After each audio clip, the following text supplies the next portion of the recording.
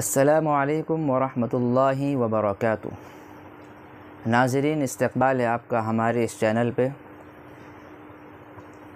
जैसा कि देखा जा रहा है कि सोशल मीडिया के ऊपर एक शख्स वायरल हो चुका है, शिहाब भाई। शिहाब चुटुर के नाम से। ये शख्स हज के लिए रवाना हुए हैं पैदल।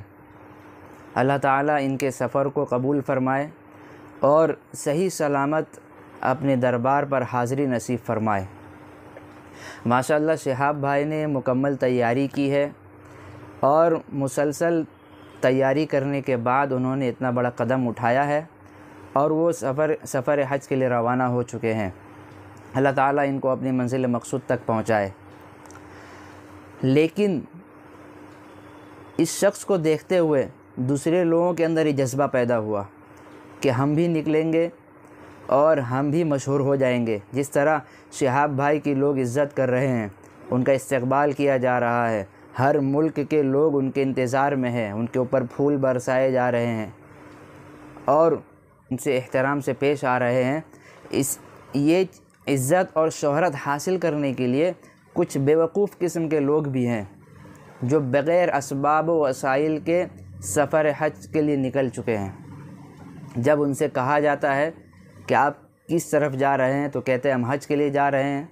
और जब उनसे पूछा जाता है कि आपके पास क्या इसबाब है, क्या वसाइल आपने इख्तियार किए हैं, आपने इसकी क्या तैयारी की है तो उनका जवाब क्या आता है?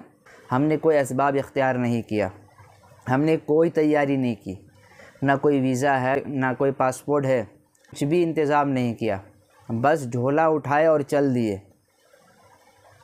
कहाँ जाना है, कैसे जाना है, किधर से जाना है किन किन मुल्कों का सफ़र करना है, इन्हें कुछ भी पता नहीं है। ये सिर्फ़ यही चाहते हैं कि हम बस सोशल मीडिया के ऊपर मशहूर हो जाएँ, वायरल हो जाएँ। बिल्कुल इस्लाम का इन लोगों ने मज़ाक बना दिया है। क्या इस्लाम हमें इस किस्म की तालीम देता है? क्या इस्लाम हमें कहता है कि आप पैदल हज के लिए जाएँ? और दूसरी बात यह है कि ये ऐसे लोग हैं एक तो इनके पास इसबाब नहीं है, इनके इनके पास वसाइल नहीं है। दूसरी बात यह है कि इनके ऊपर हज भी फ़र्ज़ नहीं हुआ है। ये किस तरह हज में जा रहे हैं? आए दिन हर कोई झोला उठा के चल रहा है, लोग वीडियो बनाकर वायरल वायरल कर रहे हैं उसे सोशल मीडिया पे। और जब वो फ़ेमस हो जाता है, जब वो मशहूर हो जाता है, अपने मकसद को पा लेता है, तब वो ये कहता है कि मैं तो अजमेर जा रहा था। मैं हज के लिए नहीं निकला। क्योंकि उसे मकसद हासिल हो चुका है। तो ऐसे लोगों की वीडियो बिल्कुल आप ना बनाएँ। ऐसे लोग जिस महल्ले में दिखाई दें, आप उन्हें, उनके घर वापस लौटा दें।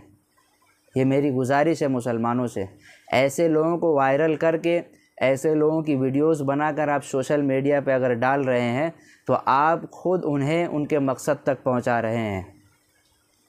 अब तक ये कहाँ थे इतने दिनों से?